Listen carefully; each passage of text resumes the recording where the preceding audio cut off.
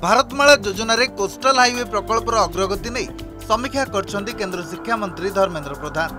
ଏଥିସହ Bhubaneswar ring road ପ୍ରକଳ୍ପ ପାରାଦୀପଠାରୁ ବଡ଼ବିଲ ମଧ୍ୟରେ ପ୍ରସ୍ତାବିତ ଆଠ ଲେନ୍ ବିଶିଷ୍ଟ ଅର୍ଥନୈତିକ କରିଡର ଏବଂ ରାଜ୍ୟରେ ନିର୍ମାଣାଧୀନ ବିଭିନ୍ନ ରାଜପଥ ପ୍ରକଳ୍ପର ସମୀକ୍ଷା କରିଛନ୍ତି। ଆଗାମୀ ଦିନରେ ହେବାକୁ ଥିବା ପ୍ରକଳ୍ପ ଉପରେ ଅନୁଧ୍ୟାନ କରିଛନ୍ତି। ଭୁବନେଶ୍ୱରରେ ଏନ୍ଏଚ୍ ଓ ଏନ୍ଏଚ୍ଆଇ ଅଧିକାରୀଙ୍କ ସହ ଆଲୋଚନା କରିଛନ୍ତି। କହିଛନ୍ତି ପ୍ରଧାନମନ୍ତ୍ରୀଙ୍କ ପୂର୍ବୋଦୟ ପରିକଳ୍ପନାରେ ପୂର୍ବ ଭାରତର ଭିତ୍ତିଭୂମିର ବିକାଶ ହେବ ଏବଂ ପୂର୍ବ ଭାରତର ବିକାଶର କେନ୍ଦ୍ରବିନ୍ଦୁରେ ଓଡ଼ିଶା ରହିବ। ଏହି ସମସ୍ତ ପ୍ରକଳ୍ପ କିଭଳି ନିର୍ଦ୍ଧାରିତ ସମୟରେ ଶେଷ ହେବ ଏହି ସମୀକ୍ଷା ବୈଠକରେ କେନ୍ଦ୍ରମନ୍ତ୍ରୀ ଧର୍ମେନ୍ଦ୍ର ପ୍ରଧାନ ଗୁରୁତ୍ୱାରୋପ କରିଛନ୍ତି। ଏହି କୋଷ୍ଟାଲ ହାଇୱେର ପ୍ରସ୍ତାବିତ ଗତିପଥ କିଛି ଏହିପରି। ବ୍ରହ୍ମଗିରି ପୁରୀ କୋଣାର୍କ ଅସ୍ତରଙ୍ଗ ନୂଆଗାଁ ପାରାଦୀପ ପୋର୍ଟ ରତନପୁର ସାତଭାୟା ଧାମରା ବାସୁଦେବପୁର ତଳପଡ଼ା ଚାନ୍ଦିପୁର ଚନ୍ଦନେଶ୍ୱର ଦୀଘା। ପରିବେଶକୁ ଏହା କିପରି କମ୍ ପ୍ରଭାବିତ କରିବ ସେଥିପାଇଁ ଏହି କୋଷ୍ଟାଲ ହାଇୱେର ଗତିପଥ ଜଙ୍ଗଲ Balukhand wildlife sanctuary Bhitarkanika କଇଁଛଙ୍କ ଅଣ୍ଡାଧାନ ସ୍ଥଳଠାରୁ ଦୂରରେ ରଖାଯାଇଛି। ଉପକୂଳ ଅଞ୍ଚଳରେ ଏହି ରାସ୍ତା ସାମାଜିକ ଅର୍ଥନୈତିକ ଅଭିବୃଦ୍ଧି ଏବଂ ପର୍ଯ୍ୟଟନର ବିକାଶ ଦିଗରେ ସହାୟକ ହେବ। ପରେ ବରିଷ୍ଠ ବିଜେପି ନେତା ବିଜୟ ମହାପାତ୍ରଙ୍କୁ ଭେଟିଛନ୍ତି କେନ୍ଦ୍ରମନ୍ତ୍ରୀ ଧର୍ମେନ୍ଦ୍ର ପ୍ରଧାନ। ତେବେ ଏହା ଏକ ସୌଜନ୍ୟମୂଳକ ସାକ୍ଷାତ ଥିଲା ବୋଲି କହିଛନ୍ତି ବିଜୟ ମହାପାତ୍ର।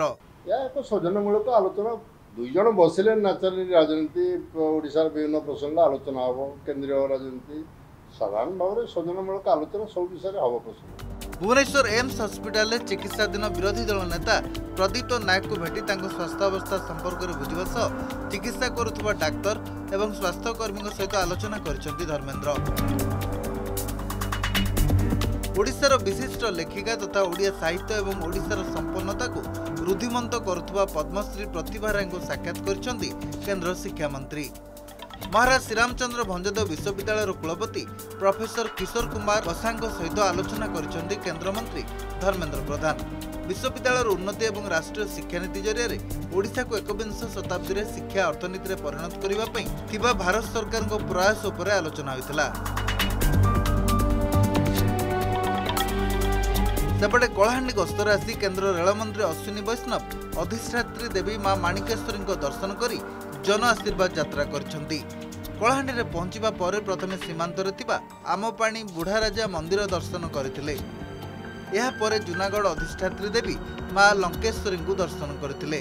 ବିଭିନ୍ନ ସ୍ଥାନରେ ଜନସମାବେଶରେ ସିଧାସଳଖ କଳାହାଣ୍ଡି ଲୋକଙ୍କ ଆଶୀର୍ବାଦ ଭିକ୍ଷା କରୁଛନ୍ତି ଆପଣଙ୍କର ଆପଣଙ୍କର ଅତି ଲଢ଼ୁଆ ଅତି ମଜବୁତ ଏମ୍ ପି ଶ୍ରୀ ବସନ୍ତ ପଣ୍ଡା ମହୋଦୟ ପାର୍ଲିଆମେଣ୍ଟରେ ମହୋଦୟ ପାର୍ଲିଆମେଣ୍ଟରେ ମଧ୍ୟ ଗୁଡ଼ାଏ ପଏଣ୍ଟ ଉଠାଇଛନ୍ତି ତାପରେ ମୋ ପାଖରେ ଯାହା ଏଠିକାର ଡିମାଣ୍ଡସ୍ ଅଛି ଅତି ଡିଟେଲରେ ରଖିଛନ୍ତି ଆସନ୍ତା ଦିନମାନଙ୍କର ସେସବୁ କାମରେ ପ୍ରୟାସ ହେବ ପବିତ୍ର ରାକ୍ଷୀ ପୂର୍ଣ୍ଣମୀ ଅବସରରେ କଳାହାଣ୍ଡି ବିଜେପି ମହିଳା ମୋର୍ଚ୍ଚା ଭଉଣୀମାନେ କେନ୍ଦ୍ର ରେଳମନ୍ତ୍ରୀଙ୍କୁ ରାକ୍ଷୀ ବାନ୍ଧିଥିବା ଦେଖିବାକୁ ମିଳିଥିଲା ବ୍ୟୁରୋ ରିପୋର୍ଟ ଅର୍ଗସ୍ ନ୍ୟୁଜ୍